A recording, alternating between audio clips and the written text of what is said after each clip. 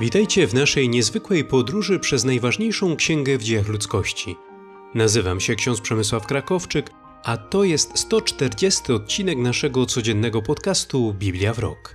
Na początku naszego spotkania pomódlmy się słowami Psalmu 89, wersety od 47 do 53. Jak długo, panie? Czy zawsze będziesz się ukrywał? Czy twoje oburzenie będzie płonąć jak ogień? Pamiętaj, jak krótkie jest moje życie. Dlaczego znikomymi stworzyłeś wszystkich ludzi? Czy jest ktoś, kto by żył, a nie zaznał śmierci, kto by życie swe wyrwał spod władzy Szeolu? Gdzież są, o Panie, Twoje dawne łaski, które zaprzysiągłeś Dawidowi na swoją wierność? Pomnij, o Panie, na zniewagę sług Twoich.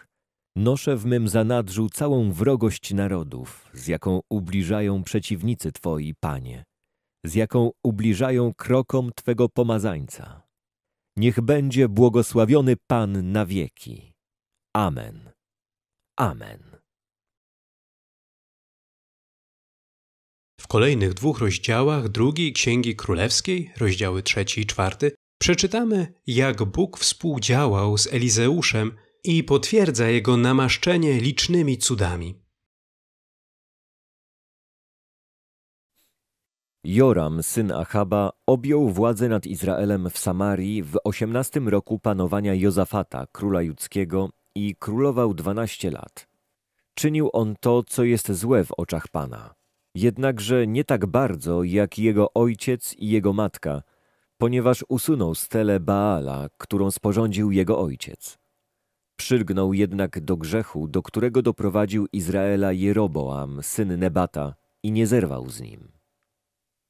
Mesza, król Moabu, był hodowcą trzód i dostarczał królowi izraelskiemu sto tysięcy owiec i wełnę ze stu tysięcy baranów. Lecz po śmierci Achaba król Moabu zbuntował się przeciwko królowi izraelskiemu. W tym samym czasie król Joram wyszedł z Samarii i dokonywał przeglądu całego Izraela. Podróżując polecił oświadczyć Jozafatowi, królowi judzkiemu – król Moabu zbuntował się przeciwko mnie. Czy zechcesz wyruszyć ze mną na wojnę przeciw Moabowi?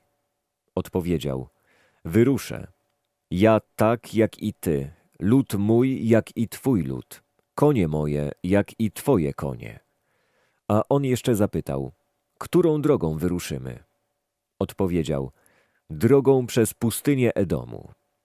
Zatem wyruszyli w drogę król izraelski, król judzki i król Edomu.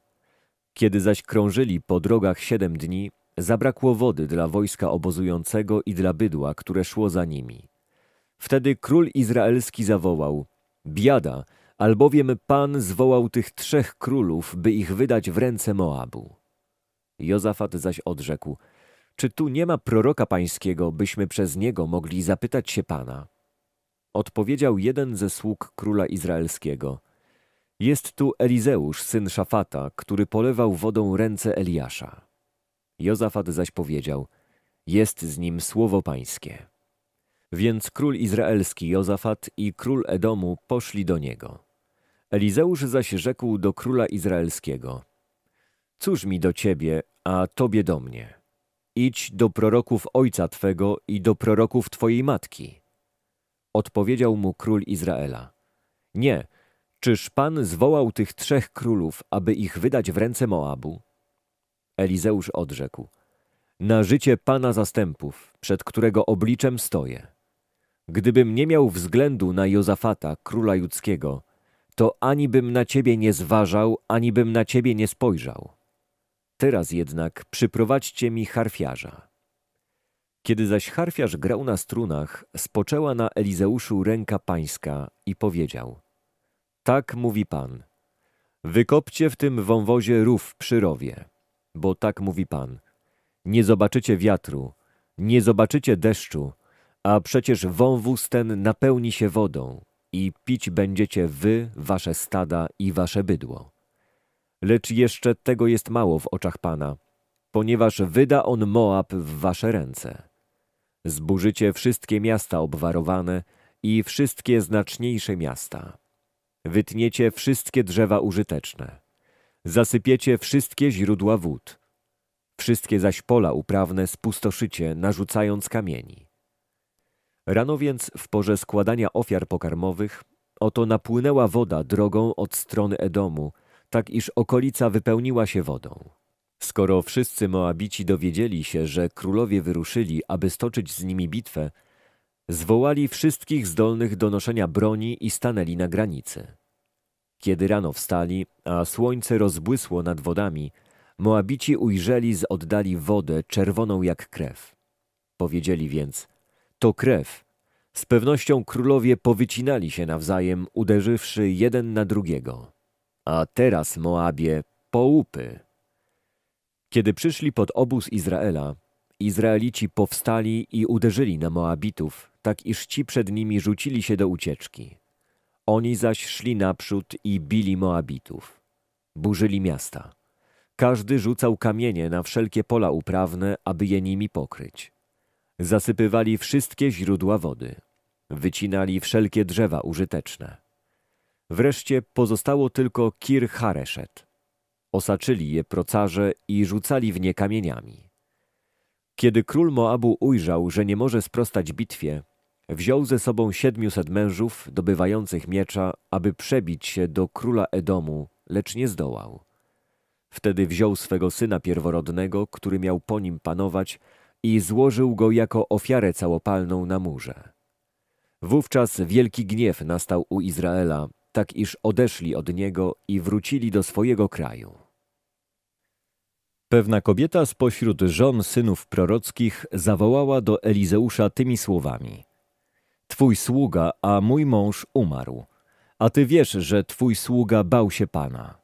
Lecz lichwiarz przyszedł, aby zabrać sobie dwoje moich dzieci na niewolników. Elizeusz zaś rzekł do niej, co mógłbym uczynić dla ciebie? Wskaż mi, co posiadasz w mieszkaniu. Odpowiedziała, służebnica twoja nie posiada niczego w mieszkaniu, prócz oliwy, którą bym się mogła namaścić. On zaś rzekł, idź, pożycz sobie z zewnątrz naczynia od wszystkich twoich sąsiadów, naczynia puste i to niemało. Następnie wrócisz, zamkniesz drzwi za sobą i za synami i będziesz nalewała do tych wszystkich naczyń, a wypełnione odstawisz. Odeszła więc od niego. Następnie zamknęła drzwi za sobą i za swoimi synami. Ci jej donosili naczynia, a ona nalewała. Kiedy naczynia się napełniły, rzekła do swego syna: Przynieś mi jeszcze naczynie. Odpowiedział jej: Już nie ma naczyń. Wtedy oliwa przestała płynąć. Poszła więc kobieta oznajmić mężowi Bożemu, który powiedział: Idź, sprzedaj oliwę, zwróć twój dług, z reszty zaś żyj ty i twoi synowie. Pewnego dnia Elizeusz przechodził przez Szunem. Była tam kobieta bogata, która zawsze nakłaniała go do spożycia posiłku. Ilekroć więc przechodził, udawał się tam, by spożyć posiłek. Powiedziała ona do swego męża – Oto jestem przekonana, że świętym mężem Bożym jest ten, który ciągle do nas przychodzi. Przygotujmy mały pokój na górze, obmurowany, i wstawmy tam dla niego łóżko, stół, krzesło i lampę. Kiedy przyjdzie do nas, to tam się uda. Gdy więc pewnego dnia Elizeusz tam przyszedł, udał się na górę i tam ułożył się do snu. I powiedział do Gehaziego, swojego sługi, zawołaj tę szunemitkę. Zawołał ją i stanęła przed nim. Rzekł do niego: Proszę, powiedz jej, oto podjęłaś dla nas te wszystkie starania. Co można uczynić dla ciebie? Czy może przemówić słowo za tobą do króla lub do dowódcy wojska? Odpowiedziała: Ja mieszkam pośród swego ludu. Mówił dalej: Co więc można uczynić dla niej? Odpowiedział Gehazi: Niestety ona nie ma syna, a mąż jej jest stary. Rzekł więc, zawołaj ją. Zawołał ją i stanęła przed wejściem. I powiedział, o tej porze za rok będziesz pieściła syna. Odpowiedziała, ach, mężu Boży, panie mój, nie oszukuj służebnicy twojej. Potem kobieta poczęła i urodziła syna o tej samej porze po roku, jak jej zapowiedział Elizeusz. Chłopiec dorastał. Pewnego dnia wyszedł do swego ojca, do żniwiarzy i odezwał się do ojca. Moja głowa, moja głowa! On zaś rozkazał słudze. Zabierz go do matki. Zabrał go i zaprowadził do jego matki. Pozostał on na jej kolanach aż do południa i umarł. Wtedy weszła ona i położyła go na łóżku męża Bożego. Zamknęła za sobą drzwi i wyszła. Zawołała swego męża, mówiąc: Przyślij mi, proszę, jednego ze sług z jedną oślicą. Pobiegnę do męża Bożego i wrócę. Odpowiedział: Czemu wyruszasz do niego dzisiaj? Nie ma ani nowiu, ani szabatu. Odrzekła: Bądź spokojny. Osiodłała oślicę i rzekła do sługi swego: Prowadź, ruszaj. Nie zatrzymuj mnie w drodze, aż ci rozkażę. Wyruszyła i dotarła do męża Bożego na górze Karmel.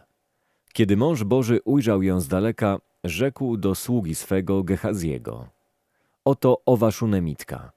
Teraz więc biegnij proszę jej na spotkanie i zapytaj ją, czy dobrze się miewasz? Czy dobrze się miewa twój mąż? Czy dobrze się miewa twoje dziecko? Odpowiedziała, dobrze. Kiedy przyszła do męża Bożego na górę, ujęła go za nogi, a Gehazi przybliżył się, żeby ją odsunąć.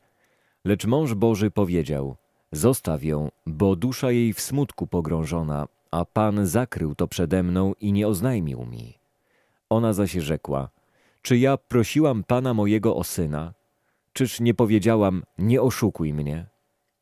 Wtedy Elizeusz powiedział Gehaziemu, przepasz biodra, weź laskę moją w dłoń, a idź. Jeżeli spotkasz kogoś, nie pozdrawiaj go, a jeżeli ktoś ciebie pozdrowi, nie odpowiadaj mu. I położysz laskę moją na chłopcu. Lecz matka chłopca rzekła, na życie Pana i na twoje życie nie opuszczę cię. Wtedy Elizeusz wstał i poszedł za nią. Gehazi zaś wyprzedził ich i położył laskę na chłopcu, lecz nie było ani głosu, ani znaku życia. Gehazi więc wrócił do niego i oznajmił mu, mówiąc, chłopiec się nie obudził. Elizeusz wszedł do domu, a oto na jego łóżku chłopiec leżał martwy. Wszedł, zamknął drzwi za sobą i za nim i modlił się do Pana. Następnie wszedł na łóżko, rozciągnął się na dziecku, przyłożył twarz swoją do jego twarzy, oczy swoje do jego oczu, dłonie swoje do jego dłoni. I pochylony nad nim pozostawał tak, aż się rozgrzało ciało chłopca. Znowu chodził po domu tam i z powrotem. Potem wszedł na łóżko i pochylił się nad nim.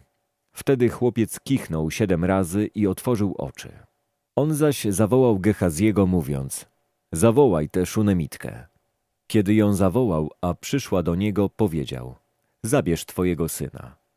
Weszła, upadła do jego stóp i oddała mu pokłon aż do ziemi. Następnie zabrała swojego syna i odeszła. Elizeusz wrócił do Gilgal, a głód był w kraju. Gdy synowie proroccy siedzieli przed nim, rzekł do sługi swego: Nastaw wielki kocioł i ugotuj polewkę dla synów prorockich. Jeden zaś wyszedł na pole, aby nazbierać jarzyn. Znalazł dziką roślinę i narwał z niej pnączy dzikich kolokwint, napełniając nimi swój płaszcz. Wrócił i nakroił ich do kotła z polewką, bo ich nie znano. Następnie podał ludziom do spożycia. Gdy tylko skosztowali polewki, krzyknęli: Śmierć jest w kotle, mężu Boży! I nie mogli jeść. On zaś powiedział: Przynieście więc mąki. I wsypał ją do kotła, mówiąc: Nalej ludziom i niech jedzą. I już nie było nic szkodliwego w kotle. Pewien człowiek przyszedł z Baal Szalisza, przynosząc mężowi Bożemu chleb z pierwocin, dwadzieścia chlebów jęczmiennych i świeże zboże w worku. On zaś rozkazał, podaj ludziom i niech jedzą. Lecz sługa jego odrzekł, jakże to rozdzielę między stu ludzi? A on odpowiedział, podaj ludziom i niech jedzą, bo tak mówi Pan. Nasycą się i pozostawią resztki. Położył więc to przed nim, a ci jedli i pozostawili resztki według słowa pańskiego. O spisku, jaki uknuli przeciwko Pawłowi Żydzi, dowiemy się z fragmentu Dzieł Apostolskich, rozdział 23, wersety od 12 do 35.